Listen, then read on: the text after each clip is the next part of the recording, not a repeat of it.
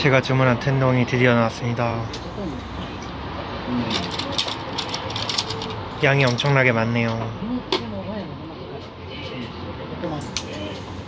밑에는 밥이 있고요. 자, 잘 먹겠습니다. 이따 닦기마스.